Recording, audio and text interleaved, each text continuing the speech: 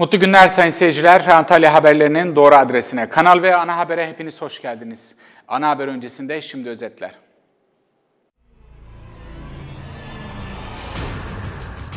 Antalya sent pazarlarında bu hafta salatalığın fiyatı tavan yaptı. İşte o rakam.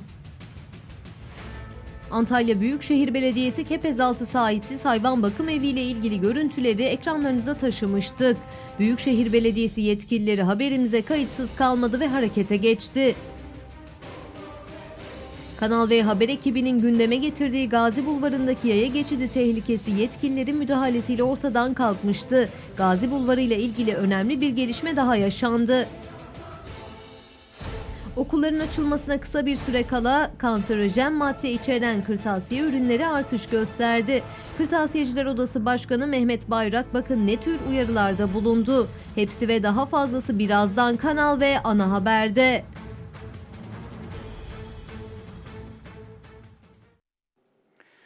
Ana haber başlıyor.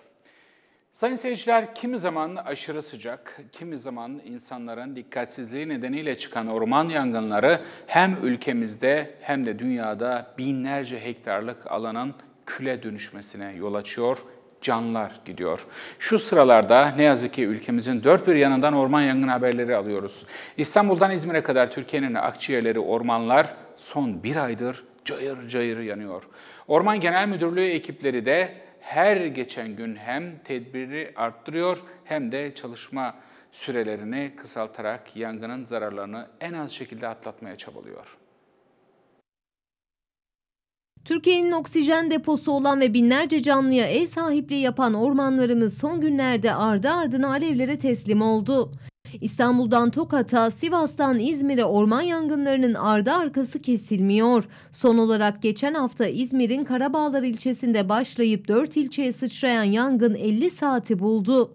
Orman Genel Müdürlüğü'nden alınan verilere göre de sadece son bir ayda Türkiye'nin cennet ormanlarından 1344 hektarı yani 1244 futbol sahası büyüklüğünde bir alan kül oldu. Orman yangınlarının erken haber alınması veya tespit edilmesi için ülke genelinde 776 yangın gözetleme kulesinde yaz sezonu boyunca gözetleme yapılıyor. Ormanlık bölgeler kameralarla izlenerek personele destek olunuyor. Orman Genel Müdürlüğü yetkilileri insansız hava araçlarıyla ormanların izlenilmesiyle ilgili çalışmalar başlattığına ve uygulamanın yaygınlaştırılması süresinde olduğuna dikkat çekiyor. Yetkililer ihbar alınan veya tespit edilen orman yangınına 1173 noktada konuşlanmış bir müdahale ekibiyle en kısa sürede müdahale ediyor. 2018 yılı itibariyle yangını söndürme işlemi de 12 dakikaya indirildi. Açıkta ateş yakmayalım. Özellikle Ekim'de yağmurlar yağıp da sezon dönünceye kadar lütfen bunları biz kenarda bıraktıralım. Daha sonra yakalım. Bir yangın gördüğümüzde hem bütün GMS'lerden hem de sabit telefonlardan ücretsiz 177 ve 112'yi arayabiliriz. Gördüğümüzde ilk yapacağımız iş bizim yangında en önemli unsurumuz yangına en çabuk haber alıp en hızlı şekilde müdahale etmek. Onun için önce gördüklerinde yangına müdahale etmekten ziyade lütfen bu iki telefon numarasını arasınlar. 112 ve 177'yi bize haber versinler. Ondan sonra yapabilecekleri bir yardım varsa, bir destek varsa ondan sonra ona girişsinler ki biz çabuk haber alalım, ulaşalım ve yangını söndürelim. Lütfen ormanlarımızı hep beraber koruyalım. Yangına erken ve etkili şekilde müdahale edilmesi için 2019 yılı için yer ekipleriyle birlikte 1076 arazöz, 281 su tankeri, 586 ilk müdahale aracı, 182 dozer, 426 diğer araç iş makineleri toplam 2551 adet araç görev yapıyor. Bu araçlarda görevli 11.039 yangın işçisi, 3.000 teknik eleman, 5.000 memur olmak üzere 19.039 personel görev yapıyor. Orman Genel Müdürlüğü kanun gereği yanan alanları bir yıl içerisinde ağaçlandırır. Ve onları tekrar orman alanı olarak e, milletimizin, devletimizin, e, tüm dünyanın hizmetine sunar. Son olarak kontrol altına alınan İzmir'deki yangına bildiğiniz gibi Türkiye'nin dört bir tarafından yangın söndürme ekipleri müdahale etmişti sayın seyirciler. O müdahale sonrasında yangın kontrol altına alınabilmiş, söndüre, söndürülebilmişti. Ama işte o yangından Antalya adına çok üzücü bir haber geldi. Antalya'da görev yapan ve İzmir'deki orman yangını söndürme çalışmalarına katılmak üzere İzmir'de bulunan Ukraynalı pilot Yuri Botsniks yoğun görev sonrası dinlendiği otel odasında ölü bulundu. 53 saat süren yangında yoğun uçuş yapan pilotun ölüm nedeni yapılacak otopsinin ardından belli olacak. İzmir'de pazar günü başlayan ve 53 saat sonra kontrol altına alınan orman yangınındaki söndürme çalışmalarına katılan Ukraynalı helikopter pilotu Eurobosnik, İzmir'de kaldığı otel odasında ölü bulundu. Antalya'da görev yapan ve geçici görevlendirmeyle 3 gün boyunca İzmir'deki yangın söndürme çalışmalarına katılan Bosnik, yangının kontrol altına alındığı çarşamba akşamı yardımcı pilot Uğur Uysal'la birlikte otelde yemek yedi ve odasına çıktı. Uysal soğutma çalışmalarına katılmak için hazırlanıp Bosnik'i uyandırmak için önce telefonla aradı, ardından odasına gitti. Uysal kapı açılmayınca durumu otel görevlilerine bildirdi. Odayı personel kartıyla açan otel görevlileri Bosnik'in banyoda hareketsiz halde yattığını fark etti. Durumu polise haber veren otel yetkilileri 112'yi arayarak olay yerine ambulans çağırdı. Sağlık görevlileri tarafından yapılan incelemede Bosnik'in hayatını kaybettiği belirlendi. Ukraynalı pilotun cansız bedeni kesin ölüm nedeninin anlaşılması için İzmir Adli Tıp Kurumu morguna gönderildi. Antalya semt pazarlarında bu hafta kahvaltıların ve cacığın vazgeçilmezi salatalın fiyatı tavan yaptı. Salatalın fiyatı o kadar yükseldi ki vatandaşlar alırken durup bir kez daha düşündü. Geçen hafta 1,5-2 liradan satılan salatalık bu hafta 4-5 liraya kadar yükseldi. Salatalığın ateşi neyse ki ekurisi domatesi pek etkilemedi. Domates geçen haftaki fiyatını korudu. 4 lira deyince bir durdunuz. Neden? Geçen hafta ne kadardı fiyatı? İki hafta önce 2 liradan almıştım. Çok pahalı geldi de. Geçen haftaya göre e, biraz pahalanmış salatalık. Öyleymiş, öyleymiş, öyle olmuş. Bu hafta semt pazarlarında salatalık cep yakıyor. Çünkü geçen hafta 1,5-2 liradan alıcı bulan salatalık bugünse tezgahlarda 4 liradan alıcısıyla buluşuyor. Daha geçen haftaya kadar 1,5-2 liradan satılıyordu, şimdi ise sevenlerini üzdü salatalık. Neyse ki domates salatalığa uymadı bu hafta. Sofraların vazgeçilmezi domatesse ekürüsü salatalığa uymadı ve bu hafta yine geçen haftaki fiyatıyla aynı rakamda. Pazarcı esnafına göre Salatalık yükseldiği zaman domates ucuz, domates ucuzladığı zaman da salatalık yükseldiği için salatalık bu hafta yükseldi. Domates de ucuzladı biraz. 2,5 lira, 3 lira, 4 lira arası. İhracat var dışarıya. Dışarıya ihracat var ondan yükselmiş. Elimizde de zaten pek iyileri kalmamış gibi görünüyor. Doğrudur aynen. Evet patates ve soğanda ise bolluk yaşandığı için haliyle soğan 1,5 patates ise 2 liradan alıcıyı görüyor. Hiçbir şey alamadık. Bu sene çok zorluk çektik. Patatesten, soğandan, şundan, bundan. Çok zorluk çektik. Soğan da 1,5 olmuş. Evet. Şimdi bu ara iyi yani. Soğan bu ara iyi. Patates de biraz iyi. Önceki fiyatlar daha pahalıydı. pazarcı esnafına göre kilosu 75 kuruştan satılan karpuzsa birkaç haftaya daha da yükselecek. Karpuzun çok fazla e, olduğu, ürünün çok olduğu ama gitmediği söyleniyor. Bu ne kadar doğru? Evet doğru çünkü karpuz çok fazla oldu mu tarlada yandığı için mecburiyetten indiriyorlar. Bir de araya bir hafta bayram girdiği için tam uy düştü yani. Ama yine bir iki haftaya yükselir. Karpuz yavaş yavaş bitiyor. Yani artık genellikle yaz meyvesi kavun olur karpuz bittiğinde. Üzüm çıktı mı karpuz yenmiyor artık. Kimi vatandaşsa pazar alışverişini akşama bırakmayı daha uygun buluyor. Neden mi? Şöyle bir durum var. Sabah öğlen standart fiyat adam fiyatı indirmiyor. Mesela domates 1,5 liraysa 1,5 lira, 2 liraysa 2 lira.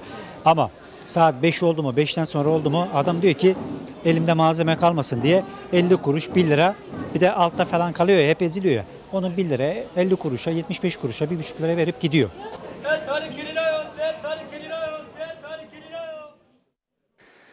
Şimdi ekranlarınıza üreten ve üretim nedeniyle kendi kendine yetebilen hatta bölgeye göç bile sağlayan bir köyü getireceğiz.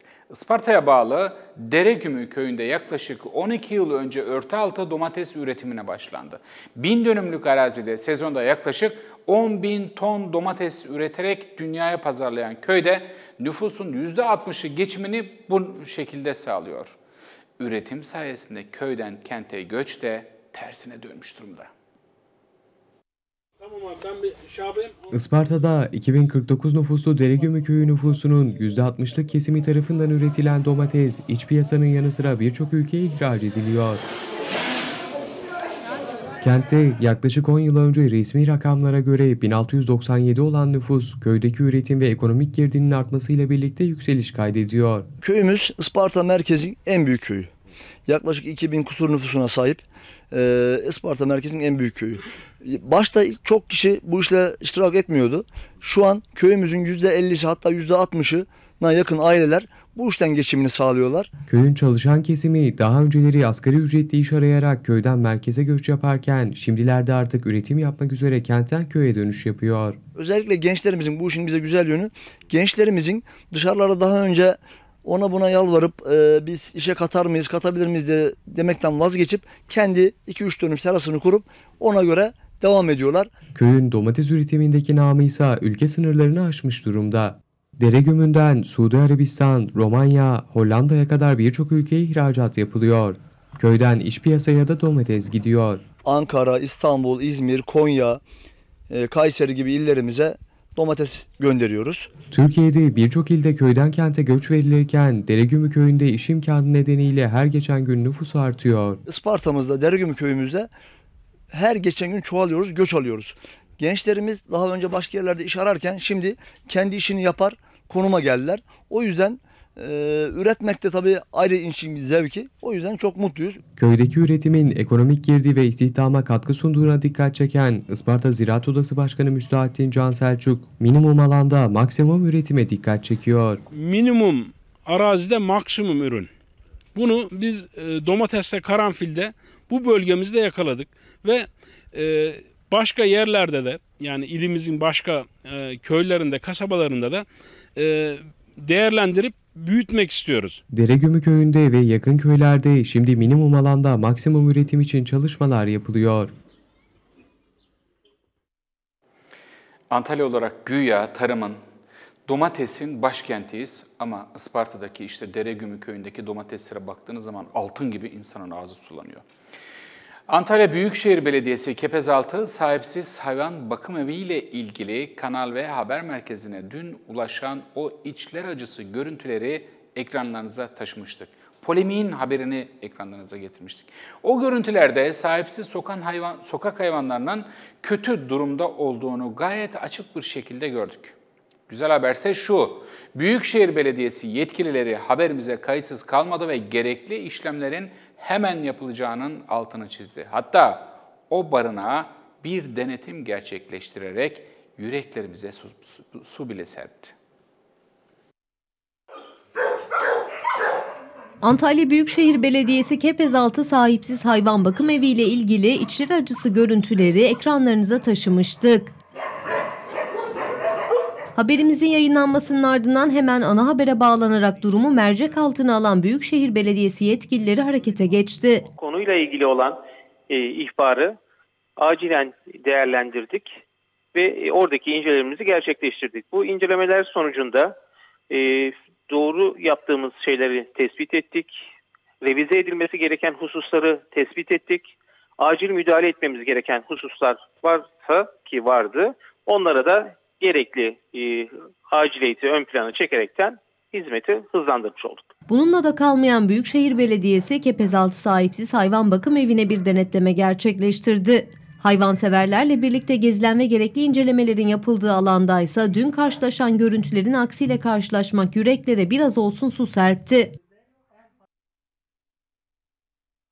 Böylesi polemik dolu ve canlıya saygısızlığın ön plana çıkarıldığı bu yöndeki çalışmayı haberleştirdikten sonra çözüme ulaşılması bizi son derece sevindiriyor. Büyükşehir Belediye Başkanı başta Muhittin Böcek olmak üzere canlıya gösterdikleri bu saygı yüzünden tüm ekibini kutluyoruz sayın seyirciler. Şimdi sonuca ulaştığımız bir haberin daha şimdi sonu şeyi var sayın seyirciler etkisi var. Siz de onunla paylaştıracağız bakalım nasıl e, e, takdir edeceksiniz. Kanal B haber ekibinin gündeme getirdiği Gazi Bulvarı'ndaki yaya geçidi tehlikesi yetkililerin müdahalesiyle ortadan kalkmıştı bildiğiniz gibi. Gazi Bulvarı ile ilgili önemli bir gelişme daha yaşandı. Yaya geçitlerinin kalkmasıyla yoldaki hız limiti otomobiller ve hafif ticari araçlar için 82, kamyon ve kamyonetler, otobüsler için 70 kilometreye çıktı. Yaklaşık 12 dakikada geçilen yolla ilgili yapılan bu düzenleme sayesinde trafik yoğunluğunun sona ermesi bekleniyor. Antalya'nın belki de en eski çevre yolu olan Gazi Bulvarı, kente gelen şehirler arası otobüslerin, kamyonların ve tur otobüslerinin olmazsa olmaz güzergahı arasında bulunuyor. Ancak Gazi Bulvarı hem yayaların hem de sürücülerin en çok sıkıntı yaşadığı yollar arasındaydı. Üst geçitler yerine yaya geçitlerini kullanmak isteyen vatandaşlar da, sürücüler de adeta ecel telleri döküyordu. Kanal B Haber'in durumu gündeme getirmesiyle yetkililer olaya müdahale etti. Ukome harekete geçti ve Gazi Bulvarı üzerindeki tam 10 yaya geçidini trafiğe kapattı. Görmüş olduğunuz gibi yaya geçidini belirten işaretler de siyah renkle boyandı. Yaya geçitlerinin kullanıma kapatılmasının ardından UKOME önemli bir karar daha aldı. 9 kilometrelik Gazi Bulvarı'nda ilk önce yaya geçitlerini kapatan Ulaştırma Koordinasyon Merkezi ardından da hız limitlerini bir kat daha arttırmış oldu. Sürücülerin 12 dakikada geçebildiği güzergahta vatandaşların talebi de yerine getirildi. 80 yeterli. Düzenlemenin ardından otomobil ve hafif ticari araçların 70 kilometre olan hız sınırı 82 kilometreye, kamyon, kamyonet ve otobüslerin 50 kilometre olan hız sınırı 70 kilometreye çıkarıldı. Bu sayede yavaş akan trafik nedeniyle oluşan yoğunluğun ortadan kalkması bekleniyor. Sırada bir duyuru haberimiz var sayın seyirciler. Canlı yayınımızı, haberlerimizi her gün izleyen Antalya'nın dört bir tarafındaki, kent merkezlerindeki ve köylerindeki kişilerin, yaşayanların, sakinlerinin ve muhtarların özellikle bazen istekleri oluyor. Onları da yerine getirmek durumundayız Antalya'nın tek televizyon olarak. Kanal ve Haber Merkezi'ne ulaşan çok anlamlı bir duyuru var şimdi sayın seyirciler sırada. Antalya'nın Kaş ilçesine bağlı Kemer Mahallesi Gömüce Sokak'ta yapımı tamamlanan Gömüce Camii'nin hizmete açılışı gerçekleştirilecek yarın. Açılışa tüm hemşehrilerimiz içinde Mevlid-i Şerif okutulacak ve yemek ikramında bulunacakmış. Kemer Mahalle Muhtarı Ramazan Çatılı da Kanal B Haber Merkezi aracılığıyla hem cami açılışı hem de Mevlid-i Şerif'e katılmaları için tüm vatandaşlarımızı davet etmiş. Oldukça anlamlı. Bildiğiniz gibi dün 3 şehidimiz daha yüreğimize gömüldü sayın seyirciler. Kaş'ın Kemer Mahallesi'nin muhtarı Ramazan Çatılı da duyarsız kalmayarak cami açılışında şehitlerimiz adına mevlüt okutulacak ve sonrasında da meydanda, köy meydanında toplu bir yemek verilecek sayın seyirciler. Bu güzel etkinliği biz de şimdiden kutluyoruz ve Gömüce köyünün sakinlerinin ötesinde davete icap etmek olur, icap etmek isteyen olursa da biz de köy muhtarı Ramazan e, Çatılı adına da davet ediyoruz sayın seyirciler ve sıradaki haberimizle devam ediyoruz. Döviz kurundaki dalgalanma sektörleri etkilemeye devam ediyor. Kurun son mağdurları kırtasiyeciler oldu. Bu sene ürünler e, rafa %10 oranında zamlı çıktı ne yazık ki. Piyasada kanserojen madde içeren sahte ürünler de peşi sıra arttı. Bu yüzden kırtasiye alışverişi yaparken tedbiri elden bırakmamak gerekiyor. Kırtasiyeciler Odası Başkanı Mehmet Bayrak, bakın ne tür uyarılarda bulunuyor veliler için. 2019-2020 eğitim öğretim yılı 9 Eylül'de başlayacak. Okulların açılmasına kısa bir süre kala hem öğrencileri hem de velileri alışveriş telaşı sardı. Çanta alacağız galiba. Evet çanta alacağız. Fiyatlarımız çok pahalı. Uygunu almaya çalışıyoruz. Hangi çantayı kullanmak istiyorsun? Var mı seçtiğin, tercih ettiğin? Şu.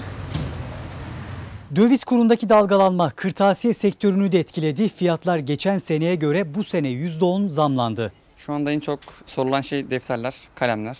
Veliler rakamları duyduğu zaman nasıl bir tepki veriyorlar? Şu anda piyasanın şartlarından dolayı fazla bir tepki veremiyorlar çünkü her şey pahalandığı için. Kırtasiyede mecbur zam geldi. Kalem, silgi, defter, çanta liste uzadıkça uzuyor. Markaya göre ürünlerin fiyatı da değişiyor. Çocuklarımızın bir yıl boyunca kullanacak olduğu ders materyalleri, işte defterler, ilkokullar için boyalar, işte e, müzik materyalleri bunlar alınıyor. Lise ve denginlerde de defterler, normal okul malzemeleri. Veliler kırtasiye alışverişi için ayırdığı bütçeyi arttırmak zorunda kalacak. Ana sınıfı okul öncesi dediğimiz e, sınıflar için 200 lirayla 400 lira 500 lira arasında değişiyor istenen malzemeye göre. Birinci sınıflarda da 150 lirayla 300 lira arasında değişiyor. 2, 3, 4'lerde de ihtiyaca göre 100 lirayla 300 lira arasında değişen e, kırtasiye malzemeleri mevcut.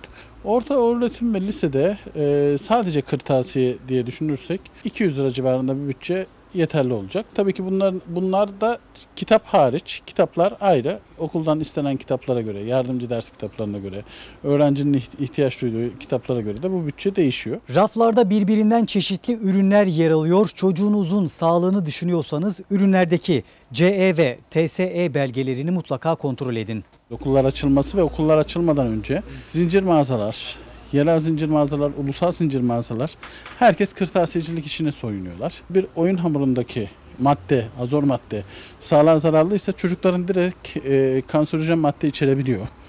Kullanılan bir defterdeki çizgiler, kullanılan defterdeki kağıdın kalitesizliği çocuğun yazısını bozabiliyor, çocuğun gözünü bozabiliyor. Çocuklarının sağlığını düşünen velilerimizin kırtasiyeci esnaflarımızı tercih etmesi gerekiyor.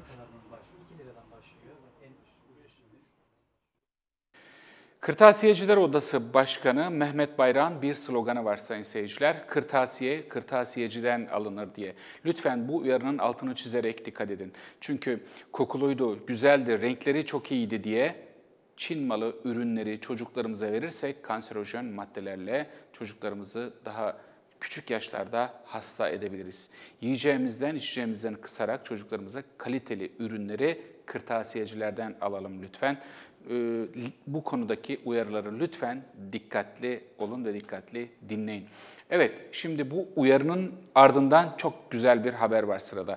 Antalya'da gizli bir hayırsever bir marketin veresiye defterindeki tüm borçları ödedi. Market sahibi mahalle sakinlerinin borcunun ödediğini astığı pankartla duyurdu.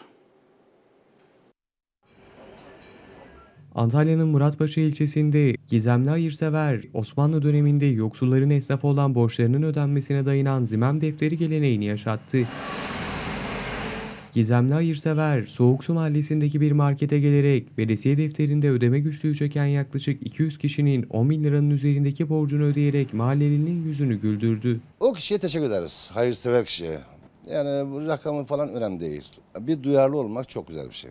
Market sahibi Osman Cengiz, 5 yıldır olduğunun işlettiği marketin veresiye usulü çalıştığını söyledi.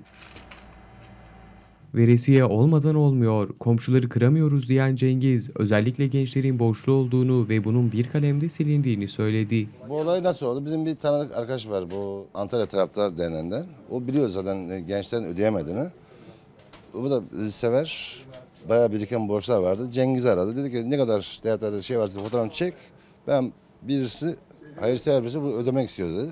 Gönderdi o da gönderdi parasını. Daha öncesinde birkaç vatandaşın ödeyemediği veresiye defterini attıklarını dile getiren Cengiz düğün hazırlığı yaptıklarını ve yapılan hayırın kendilerine de sürpriz olduğunu belirtti. Bizim için de bir şov oldu. Önümüzde düğünümüz vardı. Bir bize de bir yardım olmuş oldu.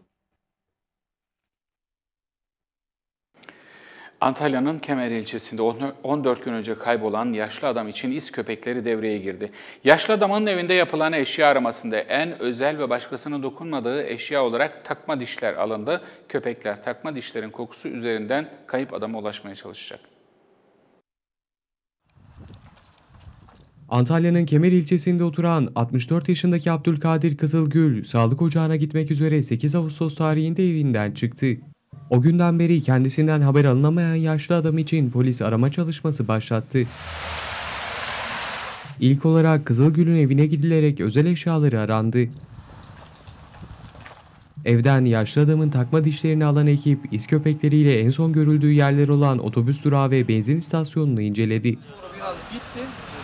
Görgü tanıklarının ifadelerine başvurulurken kayıp kişinin abi Mehmet Kızılgül de arama çalışmalarına katıldı. Arama tarama çalışmaları devam ediyor. AFAD olsun işte diğerler olsun her kamu kurumundan, belediyeden yardım alınmış. Evet, aradılar. Söyleyeyim, sivil toplum kuruluşlarından almışlar, gönüllüler var, onlardan alınmış. Ben iki gün otogara gittim. iki gün otogarda bütün çaycılara, o lavabo bakan arkadaşlara, efendim temizlik görevlerine, çöp toplayan çocuklara, gençlere hepsine fotoğraflarını gösterdim. Bende fotoğrafları mevcuttur zaten. Şu anda e, burada zaten şu ilanları yapıştırıyoruz. Çalışmalarda takma dişin kokusu tanıtılan iz köpeği bölgede koku aldı ancak üzerinden 14 gün geçtiği için izlerin devamına ulaşılamadı. Antalya'da sıcak hava ve nemden bunalan vatandaşların tercihi her zamanki gibi dünyaca ünlü Konyaaltı sahil oldu. Fakat denizde hem serinlemek hem de eğlenmek isteyenler oldukça tehlikeli bir maceraya kalkıştı.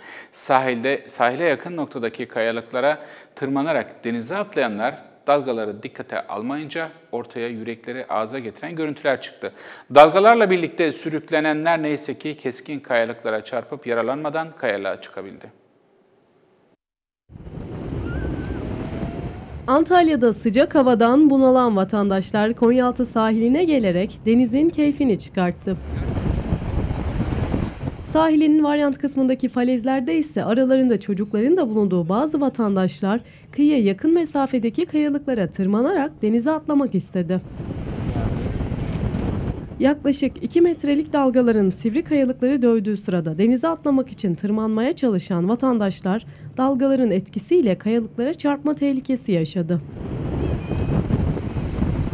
Tehlikeyi gören bazı vatandaşlar kayalıklara tırmanmaktan vazgeçerken bazıları dalgalara aldırış etmeden kayalıklara tırmandı. Güçlükle kayalıklara çıkan vatandaşlar ardından denize atlamaya devam etti. Neyse ki bu tehlikeli macera kazasız sonuçlandı. Antalya'da kamyonetle otomobilin çarpışması sonucu meydana gelen kazada ikisi ağır 6 kişi yaralandı. Kazayı hafif sıyrıklarla atlatan kamyonet sürücüsü olayın şokunu atlatamazken eşinin kaza yaptığını duyarak olay yerine gelen kadınsa eşini biraz bir an olsun yalnız bırakmadı. Kural ihlali ve dikkatsizlik yine kazaya neden oldu. Akşam saatlerinde yaşanan kazanın adresi Muratpaşa ilçesi Kızılırmak Caddesi ile Köroğlu Bulvarı'nın kesiştiği ışıklı kavşaktı. Kepez istikametine doğru giden otomobil sürücüsü Köroğlu Bulvarı'nda döneceği sırada karşıdan gelen Celal Çeltek'in kullandığı açık kasa kamyonetle çarpıştı. İki araç çarpmanın şiddetiyle bulvardaki refüje çarparak durabildi. Kaza sonrası otomobil sürücüsü ve araçtaki 4 kişi yaralandı. Kamyonet sürücüsü ise kazayı hafif sıyrıklarla atlattı. İhbar üzerine olay yerine sevk edilen sağlık ekipleri yaralıları ambulansla çevredeki hastanelere kaldırdı. Tedaviye alınan yaralılardan ikisinin durumunun ağır olduğu bildirildi. Kazayı görenler otomobilin hatalı olduğunu iddia etti. Bu beyaz araba düz gitmesi gerekirken sola dönme yapıyor. Karşıdan. Trafiği bir süre aksatan kazada şoka giren kamyonet sürücüsü Celal Çeltek'in kaza geçirdiğini duyan eşi olay yerine geldi. Bir an olsun eşinin yanından ayrılmayan kadın onu sakinleştirmek için sık sık yüzüne su döktü. Kolunu tutarak teselli etmeye çalıştı.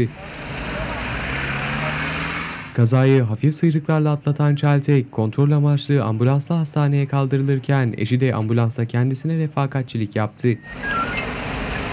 Kazada hurdaya dönen otomobil çekiciyle olay yerinden kaldırıldı. Hasar gören kamyonette yol kenarına alındı. Polisin kazayla ilgili araştırması sürüyor. 2 yaşındaki Suriyeli Firas El Şahaze 3. kattaki evlerinin balkonunda oyun oynarken demir parmaklıkları açtı ve aşağı düştü. Ağır yaralanan çocuk çevredekilerin çağırdığı ambulansla hastaneye kaldırıldı. Çocuğun balkondan düşme anını bir iş yerinin güvenlik kamerası kaydetti.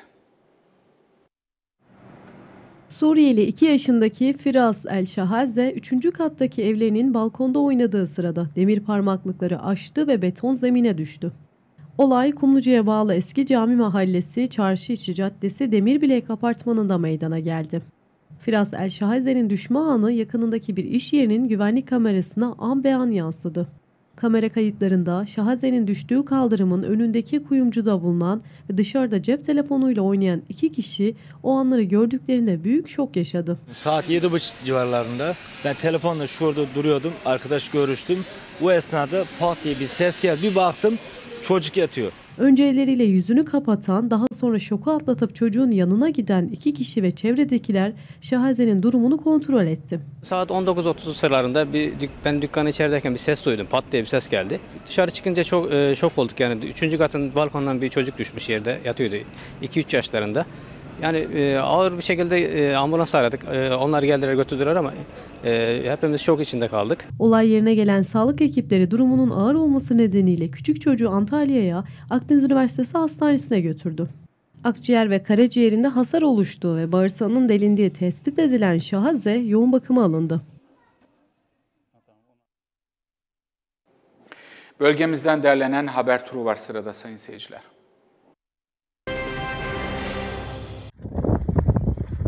Antalya'nın Elmalı ilçesi Gülova mahallesinde hortum meydana geldi. Hortum anı bir vatandaş tarafından saniye saniye kaydedildi. Görüntülerde hortumun geliş anı ve seranın naylonunu yırtarak havaya kaldırması görülüyor. Hortum etkili olduğu 100 metrelik alanda bir başka serayı da teğet geçti. Antalya Havalimanı'nda yakalanan yabancı uyruklu bir şahsın mide ve bağırsaklarından 45 adet uyuşturucu ve 765 gram kimyasal uyuşturucu çıktı. Yurt dışından Türkiye'ye uyuşturucu kuryeliği yapan şüpheli tutuklandı. Antalya İl Emniyet Müdürlüğü Çocuk Şube Müdürlüğü ekipleri tarafından kayıp olarak aranan çocukların bulunması için Konyaaltı sahili ve çevresinde denetim uygulaması yapıldı. Uygulamada 12 kişinin sorgusu yapılırken arandığı tespit edilen bir kişi işlemlerinin yapılabilmesi için ilgili birime teslim edildi. Şahıslar üzerinde yapılan aramada ise herhangi bir suç ve suç unsuruna rastlanılmadı. Muratpaşa Belediyesi Fener Mahallesi 1952 sokakta yeni bir basketbol sahasının yapımını tamamladı. Belediye Güzeloba Mahallesi'nde de çocuklara ve gençlere basketbol sahası kazandırmak için çalışmalara başladı. Döşemealtı Belediyesi sokak hayvanları için kap bizden, su ve mama sizden sloganıyla bir çalışma başlattı. Belediye ekipleri ilçedeki 20 noktaya mama ve su kabı yerleştirdi. Kontrolden çıkan bir kamyonetin takla attığı kazada iki kişi yaralandı. Kaza Antalya'nın Döşemealtı ilçesinde meydana geldi. Özkana idaresindeki kamyonet sürücünün direksiyon hakimiyetini kaybetmesi sonucu yoldan çıkıp takla attı. Kazada sürücü Özkan ve araçta bulunan Elife yaralanırken iki kişi kazayı hafif sıyrıklarla atlattı. Manavgat ilçesinde iki otomobilin çarpışması sonucu meydana gelen kazada bir kişi yaralandı. Kaza anı güvenlik kameraları tarafından an beyan kaydedildi. Mehmet Ağa'nın kullandığı otomobille Emre Ü'nün kullandığı otomobil kavşakta çarpıştı. Araçlarda büyük çapta hasarın oluştuğu kazada otomobil sürücülerinden Mehmet Ağa yaralanırken ambulansla hastaneye kaldırılan yaralının sağlık durumunun iyi olduğu bildirildi. Antalya'nın gerçek haberlerini doğru kanalda izlediniz. Yaşadığınız kentten haber almak istiyorsanız biz yarın yine burada olacağız. Bekliyoruz efendim. Yayında ve yapımda emeği geçen tüm arkadaşlarım adına mutlu günler diliyorum. Hoşçakalın.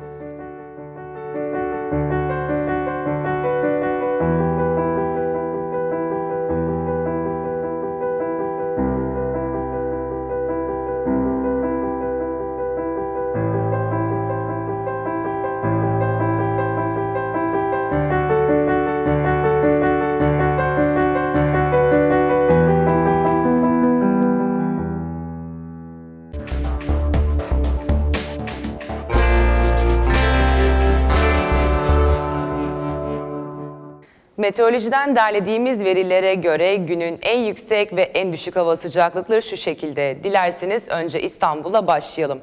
İstanbul'da bugün hava parçalı bulutlu, en yüksek 31, en düşük 22 derece. Başkent Ankara sağanak yağışlı 26-16, İzmir sıcak 35-24, Bursa parçalı bulutlu 30-18, Adana az bulutlu 34-24, Eskişehir gök gürültülü sağanak yağışlı 27-17, Trabzon gök gürültülü sağanak yağışlı 26-13, Malatya çok bulutlu 32-17, Şanlıurfa sıcak 37-23 ve son olarak Konya gök gürültülü sağanak yağışlı 26-16 derece olacak. Tarımın ve turizmin başkenti Antalya'da ise bugün hava az bulutlu, en yüksek 35, en düşük 26 derece olacak. Yarın sıcak 36-27 ve cumartesi sıcak 37-28 derece olacak. Kentin çevresine göz atacak olursak ilçelerimizin tamamı az bulutlu görünüyor.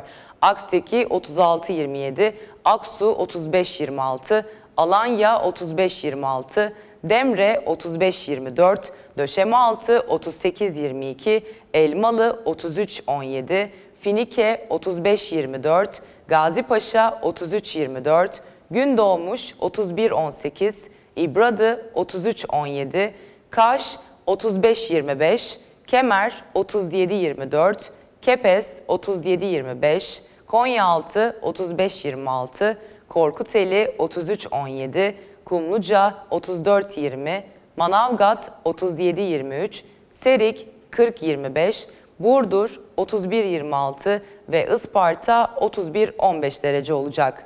Bir de dünyadan kentlere göz atalım. Bugün hava Londra'da parçalı bulutlu en yüksek 23, en düşük 13 derece. Madrid sıcak 35-16, Paris parçalı bulutlu 26-12, Atina parçalı bulutlu 32-24, Roma parçalı bulutlu 28-19, Berlin parçalı bulutlu 28-14, Moskova yağmurlu 26-16, New York gök gürültülü sağanak yağışlı 31-20, Tokyo gök gürültülü sağanak yağışlı 32-23 ve son olarak Bakü sıcak 36-20 derece olacak. Tekrar görüşmek üzere efendim. Şimdilik hoşçakalın.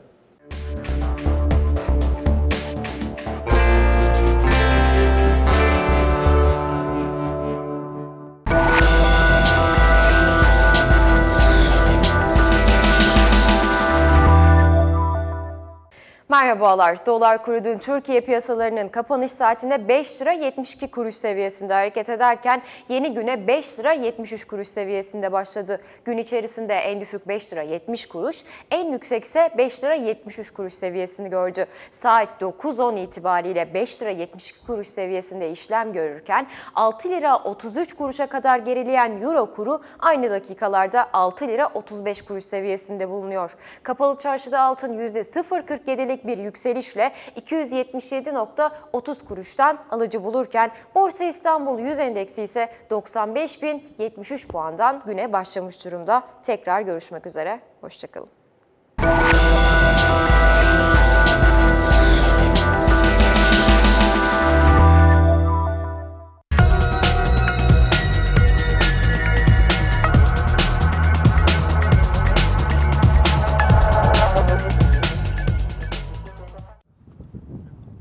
Spor Toto Süper Lig ekiplerinden Antalya Spor, pazar günü evinde Denizli Spor'u ağırlayacak.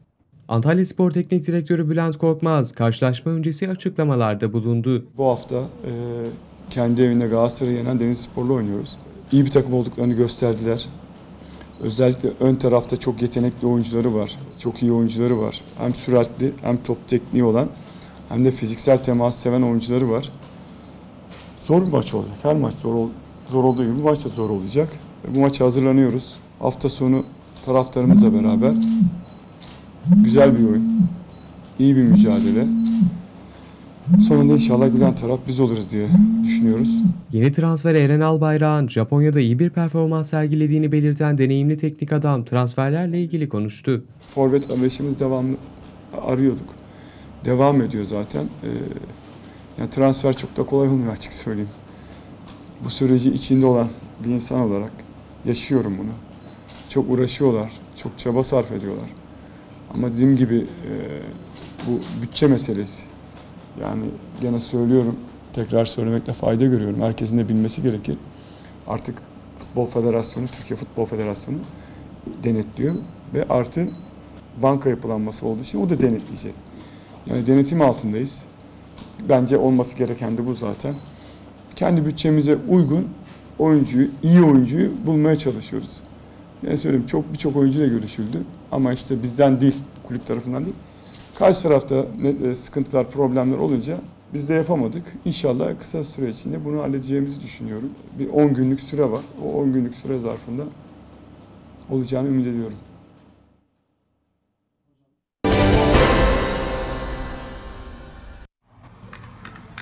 Süper Lig'in ikinci haftasında Kasımpaşa ile sahasında karşılaşacak olan Alanya Spor hazırlıklarını yaptığı idmanla sürdürdü. Alanya Spor Cengiz Aydoğan tesislerinde teknik direktör Erol Bulut yönetiminde gerçekleşen antrenmana sakatlığı bulunan Lokman Göre harici diğer futbolcular eksiksiz katıldı.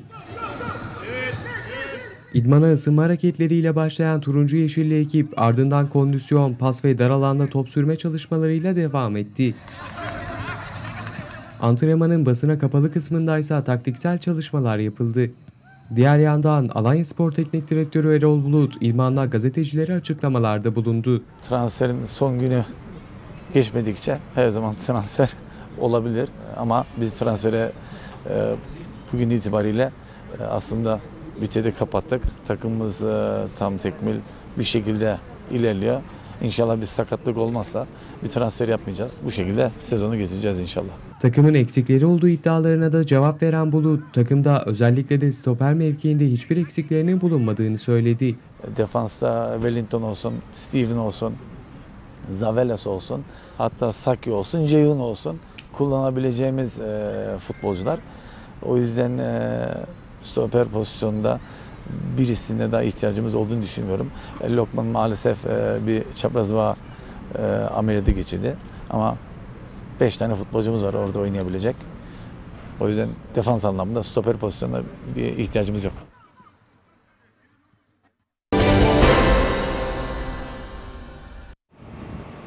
Süper Lig ekiplerinden Antalya Spor, Senegalli oyuncu Süleyman Dukara ile yollarını ayırdı. Kulüpten yapılan yazılı açıklamada Antalya Spor'umuzda 31 Ocak 2018 tarihinden bu yana forma giymekte olan futbolcumuz Süleymane Dukara, Suudi Arabistan'ın El İttifak kulübüne transfer olmuştur. Süleymane Dukara'ya kulübümüze verdiği hizmet için teşekkür eder, bundan sonraki futbol yaşamında başarılar dileriz ifadeleri kullanıldı. Osmanlı Spor'dan Antalya ekibine transfer olan Dukara, kırmızı beyazlı formayla 2017-2018 sezonunda 14 maçta 1175 dakika forma giymiş ve 6 gol atmıştı. Dukara 2018-2019 sezonunda ise 26 Süper Lig ve bir Türkiye Kupası maçında toplam 1956 dakika Antalya Spor forması terletti, 10 kez de gol sevinci yaşadı.